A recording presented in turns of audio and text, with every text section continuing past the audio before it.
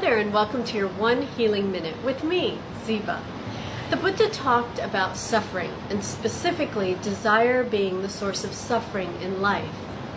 Oftentimes, when we're going through a trying situation, if we can't find a sense of meaning in the situation, we feel hopeless, we feel helpless, we feel despair.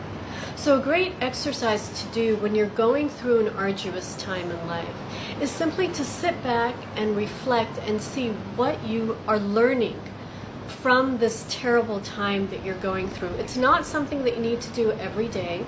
If you simply sit back and reflect even once a week, you'll feel better because you're assigning meaning to your suffering. And in doing that, you'll feel a lot better because it'll make sense and have value to you. And that's your one healing minute.